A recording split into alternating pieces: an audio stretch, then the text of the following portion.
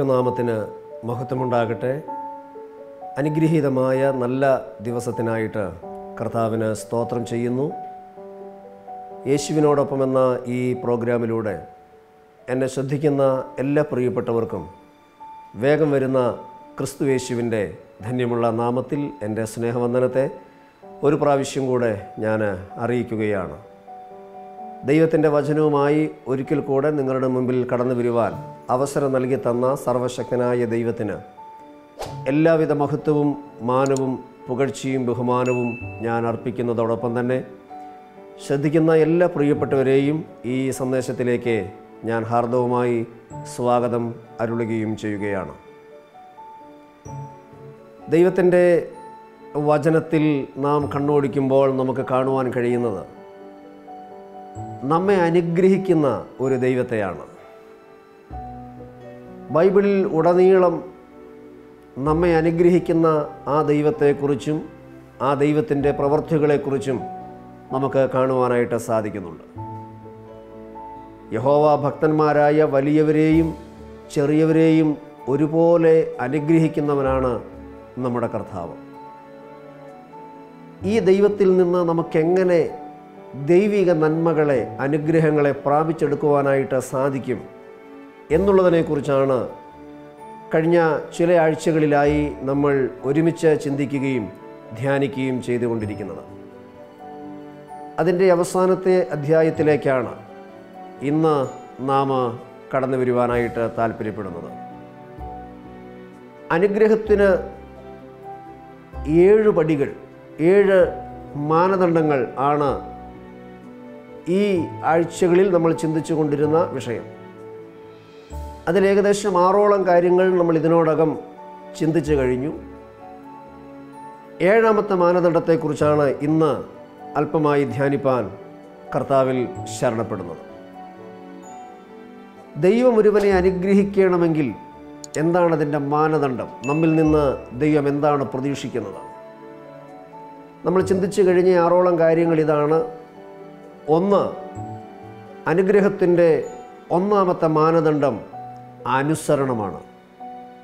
ദൈവത്തെയും ദൈവത്തിന്റെ വചനത്തെയും അവന്റെ അരുളപ്പാടുകളെയും ഉള്ളതുപോലെ നാം അനുസരിക്കുവാൻ തയ്യാറാകുമ്പോൾ പൂർണമായി അത് അനുസരിക്കുവാൻ നാം തയ്യാറാകുമ്പോൾ അത് നമ്മെ അനുഗ്രഹത്തിലേക്ക് എത്തിക്കുന്നു എന്ന് നമുക്ക് കാണുവാനായിട്ട് സാധിക്കുന്നുണ്ട്. രണ്ടാമത്തെ മാനദണ്ഡം അനുതാപമാണ്. നമ്മുടെ ജീവിതത്തിൽ സംഭവിച്ചു പോയ ബലഹീനതകൾ കുറവുകൾ പാപങ്ങൾ ലംഘനങ്ങൾ അതൊന്നും നാം മൂടി വയ്ക്കാതെ അനുതാപത്തോടും പശ്ചാത്താപത്തോടും കൂടെ ദൈവസന്നിധിയിൽ മടങ്ങി വന്ന് ദൈവത്തോട് നാം അത് ഏറ്റുപറഞ്ഞ് പ്രാർത്ഥിക്കുവാൻ തയ്യാറാകുമ്പോൾ അങ്ങനെയുള്ളവരെ ദൈവം അനുഗ്രഹിക്കുന്നുവെന്ന് നാം കാണുന്നു. മൂന്നാമത്തെ മാനദണ്ഡം ക്രിസ്തുവേശുവിനെ യഥാർത്ഥമായി അനുഗമിക്കുക എന്നുള്ളതാണ്. സകലവും വിട്ടുകളഞ്ഞ് കർത്താവിന്റെ മുഖത്തേക്ക് നോക്കി വാസ്തവമായി ഇറങ്ങി തിരിച്ചവരെ യഥാർത്ഥമായി യേശുവിനെ അനുഗമിച്ചിട്ടുള്ളവരെ ആരെയും ദൈവം കൈവിട്ടിട്ടില്ല എന്ന് മാത്രമല്ല അവരുടെ ജീവിതത്തെ ദൈവം അനുഗ്രഹപൂർണമാക്കി മാറ്റിയിട്ടുണ്ട് എന്നുള്ളത് ദൈവവചനത്തിൽ നിന്ന് നമുക്ക് മനസ്സിലാക്കുവാനായിട്ട് സാധിക്കും. അനുഗ്രഹത്തിന്റെ നാലാമത്തെ മാനദണ്ഡം ദൈവത്തെ അനുഭവിക്കുക ദൈവത്തെ യഥാർത്ഥമായി സേവിക്കുക എന്നുള്ളതാണ്. കർത്താവ് നമ്മുടെ ജീവിതത്തിൽ അറിവിനേക്കാളുപരി ഒരനുഭവമായി മാറുമ്പോൾ അത് ദൈവം നമ്മെ അനുഗ്രഹിക്കുന്നതിന് കാരണമായി തീരും അഞ്ചാമത്തെ മാനദണ്ഡം നാം ദൈവത്തെ കർത്താവിനെ ജീവിതത്തിൽ അനുകരിക്കുന്നവരായി മാറുക എന്നുള്ളതാണ്. കർത്താവിനെ നാം ജീവിതത്തിൽ അനുകരിക്കുമ്പോൾ കർത്താവിന്റെ സ്വഭാവങ്ങൾ രീതികൾ ഇടപെടലുകൾ നമ്മുടെ ജീവിതത്തിന്റെ ഭാഗമാക്കി നാം മാറ്റുമ്പോൾ അത് ദൈവം നമ്മെ അനുഗ്രഹിക്കുന്നതിന് കാരണമായി തീരും. ആറാമത്തെ മാനദണ്ഡം നാം ദൈവത്തോട് അനുരൂപരാകണമെന്നുള്ളതാണ്. ദൈവത്തെ പോലെ ആയിത്തീരുക. അവനെപ്പോലെ നാം ആയിത്തീരുക. അങ്ങനെ നാം ദൈവത്തോട് അനുരൂപപ്പെട്ട് നമ്മുടെ ജീവിതം മുൻപോട്ട് നയിക്കുമ്പോൾ അത് ദൈവം നമ്മെ അനുഗ്രഹിക്കുന്നതിന് കാരണമായി തീരും ഏഴാമത്തെ മാനദണ്ഡമാണ് ഇന്ന് നമ്മൾ ചിന്തിപ്പാനായിട്ട് പോകുന്നത്. ദൈവം ഒരുവനെ അനുഗ്രഹിക്കണമെങ്കിൽ അതിനുള്ള ഏഴാമത്തെ പടി നാം മറ്റുള്ളവർക്ക് ഒരനുഗ്രഹമായി തീരണം. നാം മറ്റുള്ളവരെ അനുഗ്രഹിക്കുന്നവരായി തീരണം. അങ്ങനെ നാം മറ്റുള്ളവരെ അനുഗ്രഹിക്കുമ്പോൾ അത് ദൈവം നമ്മെ അനുഗ്രഹിക്കുന്നതിന് കാരണമായി തീരും. റോമാലേഖനം പന്ത്രണ്ടാം അധ്യായം അതിന്റെ പതിനാലാമത്തെ വേദഭാഗത്തിൽ നാം ഇങ്ങനെ വായിക്കുന്നു. നിങ്ങളെ ഉപദ്രവിക്കുന്നവരെ അനുഗ്രഹിപ്പീൻ ശപിക്കാതെ അനുഗ്രഹിപ്പീൻ. നാം എല്ലായ്പ്പോഴും മറ്റുള്ളവർക്ക് ഒരനുഗ്രഹമായി തീരണമെന്ന് ദൈവം നമ്മെക്കുറിച്ച് ആഗ്രഹിക്കുകയാണ്. അത് കേവലം വാക്കുകളിൽ മാത്രം ഒതുക്കി നിർത്തേണ്ട ഒരു കാര്യമല്ല. മറിച്ച് നമ്മുടെ പ്രവൃത്തി കൊണ്ടും നമ്മുടെ ജീവിതം കൊണ്ടും നാം മറ്റുള്ളവർക്ക് ഒരനുഗ്രഹമായി മാറണം. പലപ്പോഴും ഈ ലോകത്തിൽ നാം കണ്ടുവരുന്നത് നമ്മെ അനുഗ്രഹിക്കുന്നവരെ നാം തിരികെ അനുഗ്രഹിക്കാറുണ്ട്. നമ്മെ സഹായിക്കുന്നവരെ നാം തിരിച്ചും സഹായിക്കാറുണ്ട്. നമ്മെ സ്നേഹിക്കുന്നവരെ നാം തിരികെ അതുപോലെ അവരെയും സ്നേഹിക്കാറുണ്ട്.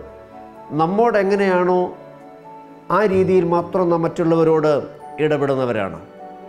എന്നാൽ ഒരാത്മീയനെ സംബന്ധിച്ച് ദൈവം ആഗ്രഹിക്കുന്നത് അതിനേക്കാൾ വ്യത്യസ്തമായ അതിനേക്കാൾ ആഴമായ നിലവാരത്തിലാണ്.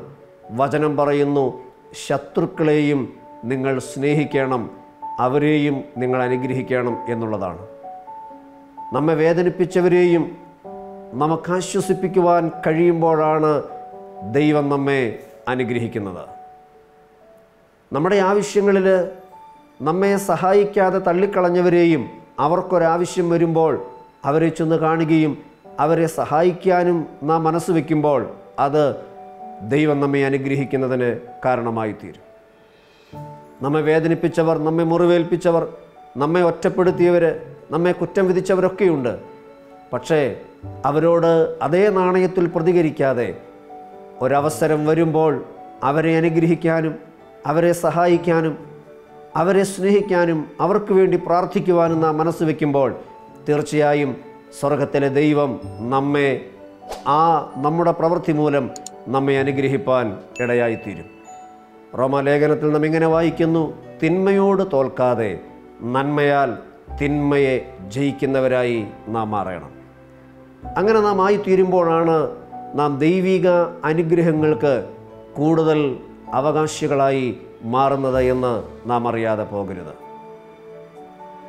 പരസ്പരം പങ്കുവയ്ക്കുവാനുള്ള കൂട്ടായ്മയുടെ മനോഭാവമാണ് ഓരോ ദൈവമക്കളിലും ദൈവം കാണുവാനായിട്ട് ആഗ്രഹിക്കുന്നത്. ദൈവം നമുക്ക് തന്ന നന്മകളും അനുഗ്രഹങ്ങളും മറ്റുള്ളവരിലേക്ക് പകരാനുള്ള അത് മറ്റുള്ളവർക്കും കൂടെ നൽകുവാനുള്ള വിശാലമായ ഒരു മനസ്സും വിശാലമായൊരു ഹൃദയവും നമുക്ക് ആവശ്യമാണ്. പത്രോസിന്റെ വലയിൽ വലിയ മീൻകൂട്ടം അകപ്പെട്ട് യേശു കർത്താവിന്റെ ഇടപെടലിലൂടെ പത്രോസ് അനുഗ്രഹിക്കപ്പെട്ടപ്പോൾ താൻ ചെയ്ത ഒരു പ്രവൃത്തി അവിടെ പ്രശംസനീയമാണ്. ആ അനുഗ്രഹത്തിന്റെ പങ്കുപറ്റുവാൻ ആ അനുഗ്രഹം അനുഭവിക്കുവാൻ മറ്റു പടകിലുള്ള ശിഷ്യന്മാരെയും മറ്റ് പടകിലുള്ള തന്റെ സ്നേഹിതരെയും കൂടെ പത്രോസ് ക്ഷണിക്കുന്നതായിട്ട് നാം ആ ഭാഗത്ത് വായിക്കുന്നുണ്ട്. അതൊരു കൂട്ടായ്മയുടെ വലിയ ബന്ധമാണ്. പങ്കുവയ്ക്കലിന്റെ വലിയൊരു പാഠമാണ് നമുക്ക് അവിടെ കാണുവാനായിട്ട് സാധിക്കുന്നത്. സരഫാത്തിലെ വിധവിയുടെ ഭവനത്തെ ദൈവം അനുഗ്രഹിച്ചപ്പോൾ അവൾ പ്രാപിച്ച അനുഗ്രഹം അവളുടെ സ്നേഹിതരെ അയൽവാസികളെ എല്ലാം വിളിച്ച് അവൾ ആ സന്തോഷത്തിൽ പങ്കുചേരുന്നതും അവരെയും കൂടെ അതിൽ ഉൾപ്പെടുത്തുന്നതും ആ ഭാഗങ്ങളിൽ നാം വായിക്കുന്നുണ്ട്. ബൈബിളിൽ ഉടനീളം പ്രാപിച്ച നന്മകൾ മറ്റുള്ളവർക്കും കൂടെ പങ്കുവെക്കുന്നതിന്റെ വലിയ ഉദാഹരണങ്ങൾ നമുക്ക് പല ഭാഗത്തായിട്ട് കാണുവാനായിട്ട് സാധിക്കുന്നുണ്ട്. ഇന്നത്തെ ആത്മീയ ലോകത്തിന്റെ പരാജയം എന്ന് പറയുന്നത് ദൈവത്തിൽ നിന്നും പ്രാപിച്ച നന്മകൾ അർഹതയുള്ള മറ്റുള്ളവരിലേക്ക് നാം അത് പകർന്നു കൊടുക്കുന്നില്ല പങ്കുവെക്കുന്നില്ല എന്നുള്ളതാണ്. എല്ലാവരും സ്വയം അനുഗ്രഹിക്കപ്പെടാനും സ്വന്തം നീക്കിയിരിപ്പ് വർദ്ധിപ്പിക്കാനും സ്വന്തം ബാങ്ക് ബാലൻസ് വർദ്ധിപ്പിക്കുവാനും തലമുറകൾക്ക് വേണ്ടി സമ്പാദിക്കുവാനും മാത്രം ശ്രമിക്കുന്നു. ഇങ്ങനെയുള്ള ആത്മീകരാണ് ആത്മീക ലോകത്തിന്റെ പരാജയം ക്ഷാപം എന്ന് പറയുന്നത്. എന്നാൽ ഒരിക്കലും നാം അങ്ങനെയല്ലയാകേണ്ടത് ദൈവം നമ്മെ അനുഗ്രഹിക്കുമ്പോൾ ദൈവം നമ്മെ മാനിക്കുമ്പോൾ പ്രാപിച്ച നന്മകൾ മറ്റുള്ളവർക്കും കൂടെ പങ്കുവെച്ചുകൊണ്ട് നാം മറ്റുള്ളവരെ അനുഗ്രഹിക്കുന്നവരായി മാറണം. അങ്ങനെ നാം അവർക്കൊരനുഗ്രഹമായി തീരുമ്പോൾ വലിയവനായ ദൈവം നമ്മെ അതുമൂലം അനുഗ്രഹിപ്പാനായിട്ട് ഇടയായിത്തീരും. ഇന്ന് പകൽക്കാലം എന്നെ ശ്രദ്ധിക്കുന്ന പ്രിയമുള്ളവരെ ദൈവത്തിൽ നിന്ന് നാം പ്രാപിച്ച നന്മകൾ അനുഗ്രഹങ്ങൾ കൃപകൾ താലന്തുകൾ നമുക്ക് മറ്റുള്ളവർക്കും കൂടെ നൽകി അവരെ അനുഗ്രഹിക്കുന്നവരായിട്ട് നമുക്ക് മാറാം. അങ്ങനെ ചെയ്യുമ്പോൾ സ്വർഗത്തിലെ ദൈവം നമ്മെ പിന്നെയും പിന്നെയും അധികമായി അനുഗ്രഹിപ്പാനിടയായിത്തീരും. വിതയ്ക്കുന്നവന്റെ കയ്യിൽ കർത്താവ് വിത്ത് നൽകിക്കൊണ്ടേയിരിക്കും. വ്യാപാരം ചെയ്യുന്നവന്റെ കയ്യിൽ സ്വർഗത്തിലെ ദൈവം താലന്തുകൾ അധികമായി നൽകിക്കൊണ്ടേയിരിക്കും. പ്രാപിച്ചത് മൂടി വയ്ക്കാതെ സ്വന്തം കാര്യം മാത്രം നോക്കി ജീവിക്കുന്നവരായി മാറാതെ നമുക്കത് മറ്റുള്ളവർക്കും കൂടെ നൽകാം. നാം മറ്റുള്ളവർക്കും ഒരനുഗ്രഹമായി തീരട്ടെ. നമ്മുടെ സമൂഹത്തിന് നമ്മുടെ സ്നേഹിതർക്ക് നാം ഒരനുഗ്രഹമായി തീരട്ടെ. അങ്ങനെ നാം മറ്റുള്ളവരെ ജീവിതം കൊണ്ട് അനുഗ്രഹിക്കാൻ തയ്യാറാകുമ്പോൾ അത് നമ്മെ ദൈവം അനുഗ്രഹിക്കുന്നതിന്റെ ഏഴാമത്തെ മാനദണ്ഡമായി മാറും.